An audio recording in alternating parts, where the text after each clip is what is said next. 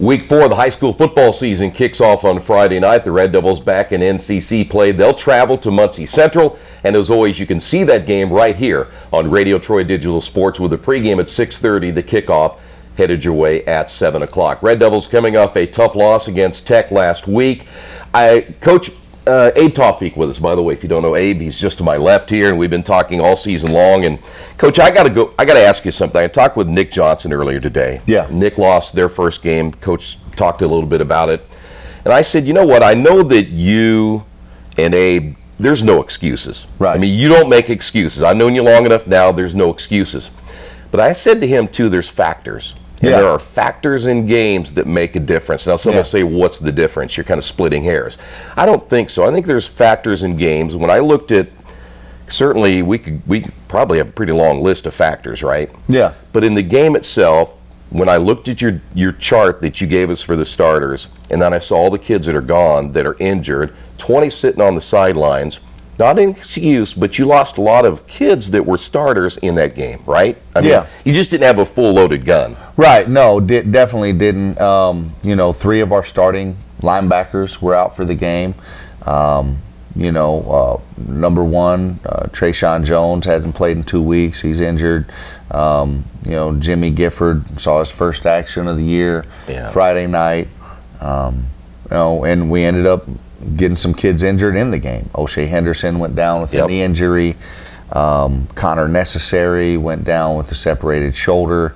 Um, uh, Dalton Swank went down. Uh, might might have a concussion. Got hit pretty hard. Um, you know, so we're just getting bit with the injury bug. Yeah. You know, and that's not an excuse. I mean, it's got to be the next guy up mentality is what we have to have. But um, you know, it's just we're just playing a lot of kids who haven't played a lot of football yet Yeah. you know, and that's just the reality of the situation. I'd never make an excuse. I still expect us to go out and compete uh, week in and week out, but that is the reality of the situation, you know. And you don't have the luxury, like a lot of football programs don't, where the next man up is equal to the front man. I mean, it's just the reality of any sport. That's why there's starters and guys who get minutes and those who don't. Right, right, yeah. I mean, there's a pretty big drop off between our ones and twos, Yeah. and then an even bigger drop off, you know, from our threes and fours. Um, so, as a coaching staff, we really had to have a come to Jesus meeting, uh, a moment over the weekend, and really scrub our roster. You know, we went through every single kid. Is this kid a JV kid or is he a, a Friday night guy? And um, you know, we're, we're going to change the way we practice. And so from here on out, we're going to kind of practice like a, a 3A, 2A program, and that every single kid is going to learn both sides of the ball. Yeah. And um, it allowed us to go three or four deep in some areas on the depth chart. And uh, I think it's going to make us a better football team. It's going to help us, you know, better prepare ourselves for Friday nights. Uh, and it's also going to help better prepare our JV team uh, to compete on Saturdays. So we're going to split those kids up completely. And now instead of having our number one defense going against our JV offense, you know, in terms of scout team to get a look, we're going to be going varsity kids against varsity kids. Yeah. So hopefully it's going to give us a better look. Um, and then JV kids, you know, in terms of just keeping their confidence up and keeping them around, you know, they won't have to be going against Colton Davis or Shea Hall, you know, Yeah. and, and really lose that confidence early. And um, so uh, I think it's going to be a good thing for us. But again, no excuses. You know, along with the injuries, last week we had kids just getting sick, you know, Yeah. left and right. Uh, even Coach Dunham. Coach Dunham's been coaching for 41 years, and in 41 years, he missed two practices. One of them was last week because he was at home vomiting. No kidding. So, along with all the injuries, we've had a bunch of sick kids. Wyatt Bird only practiced one week, one day last week, um, because he was sick at home. Yeah. You know, throwing up, dealing with uh, some type of bug that's going around. So, um, you know, again, no excuses, but there are factors that played in um, to the loss, or the loss is that we've had. I'm only hoping that some of the people that, and I'm this is my own commentary, that think they know everything about what's going on all the time, unless you're at practice every day, unless you understand what the factors are, take the social media stuff away because you're really making yourself look silly on some of the things that they're talking about. I had to say that because I'm dealing with some of these morons out there who think they know everything about every program there is. And I will offer to you again. You can come on this show, you can come on any show you want to, and we'll talk about it. But until then, just keep your social media comments to yourself. So I, I wanted to get that out too. Coach, offensively. Yeah struggled a little bit, but it wasn't that you didn't have some opportunities, and, and there were times when you got in the red zone, just couldn't get it in the end zone, and there were some things there that you got to get cleaned up before next week, too. Oh, absolutely. You know, our offense was finally starting to move efficiently up and down the field. Um, you know, we had long, sustained drives. We just didn't score any points. Yeah. You know, we got down to the four yard line one time, another time we got down to the six, and, um, you know, our kids just they're tight. They're, they're just getting tight when we get yeah. down there. I think they're just trying too hard instead of just letting the game come to you. Yeah. You know, so uh, literally, we called four touchdowns uh, off. We, we called four plays that should have been touchdowns. And if you go and you look at it on film, the plays they're right there, um, wide open, and it was, you know, we miss a block or uh, quarterback doesn't throw the ball or you know makes the wrong read it was a number of different things. You know, a rush that just got the ball out a little too quick. Yeah, there were some just some little things, you yeah. know, that come with experience. And again, our quarterback hasn't played meaningful varsity snaps until this year. Last time he played football was in seventh grade. Yeah, it's tough. Not an excuse, just the reality of the situation. Yeah. You know, and so uh, we're coaching the kid up we've had him now. You know, we had him all summer, and that was just learning the base of the offense. Yeah. What you know, how does this thing? What's it supposed to look like?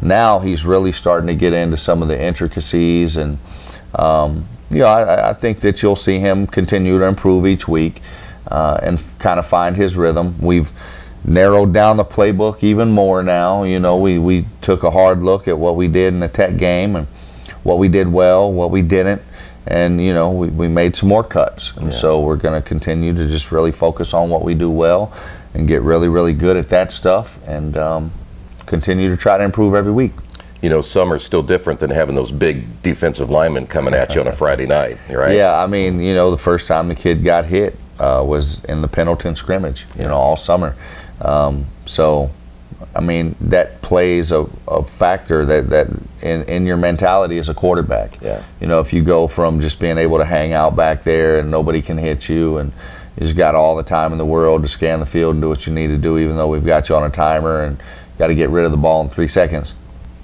Um, now, you know, you're actually getting hit and, you know, falling to the ground, rolled up, giving up a couple of sacks it plays a little bit into the into the mental aspect of the yeah, game. It so. sure does. All right, when we come back, we'll talk about Muncie Central as we're back in North Central Conference play coming up on Friday. We'll do that right here on Radio Troy Digital Sports. For the past 35 years, Van Vliet Insurance has built a reputation of bringing a personal touch. That's because at Van Vliet, it's all about you, your needs, your life, and our town. Along with providing quality coverage to individuals, families, and local businesses, we're proud of our community and the opportunity we have to protect your future within it. Van Vliet Insurance, and Erie Insurance representative. Hometown professionals at work for you. Hard to believe we're in week four of the high school football season. It does go fast, doesn't it? It, it flies. Yes, it does. It flies. And I tell the kids uh, every single week, you know, that it's going to be over before you know it. Especially the seniors, you know, uh, your your high school experience will fly, and it'll be over before you know it. And high school football season is always the same exact way. Yeah. You know, you, you get so uh, into it, and it just next thing you know, it's over. Yeah. So, you know, it's uh, Nick had put something because I'm a social media guy. I have to be, but he put a little quotation on there: "Make every minute count." Yeah which is so true because you only have 24 hours in a day, and as you said, your high school football career is only four years, and the majority of these guys aren't going to play after this. Right. And so you got to absorb it and make sure it counts, right? Right. Yeah, absolutely. I mean, um, you know, I, I've been telling the kids since week one after Connersville celebrated on our field the way they did and as hard as they played. Each week has got to be our state championship week, Yeah. you know, and we've really had to be locked in and enjoying the moment. And then along with that, you know, um, our program has had a little bit of adversity behind the scenes. You know, um, one of our players was involved in kind of a tragic situation, and um, you know that that kind of goes back to it, and that you know tomorrow's not always promised, Yeah. and that enjoy every minute and every day that you're here. You know, able to get better. You know, being with your brothers and your coaches and just this football family that we have going on, and enjoy these moments and really um, cherish them and savor them because you know you never know when they'll be over. Yeah. Very, very true. Muncie Central coming up on Friday night, Yeah. Coach. What do you what do you see in the Bearcats? Uh, man, they got some really good looking kids on film. Uh, some big, big offensive and defensive linemen. Um, you know, they made a change at quarterback uh, against the Anderson game, and uh, they put uh, their wide receiver, number 11. He's a wide receiver slash defensive back. They put him in at quarterback and pretty much ran the ball and made their offense look very, very dynamic. So we're going to have to do a lot to contain him hopefully we'll get some of our linebackers back this week, and um, hopefully we'll get Bubba Sanders back this week, um, who's been out nursing injuries. Um, you know, if we can get those guys back, then then we should be pretty solid defensively. Um, if not, no, you're fine. Um, if not, we're we're just going to have to do a great job of staying disciplined and gap sound and um, just be able to contain that kid. Um, if we can contain him, it'll give ourselves a chance. And then offensively, I mean, we just got to score the football. Yeah. Plain and simple.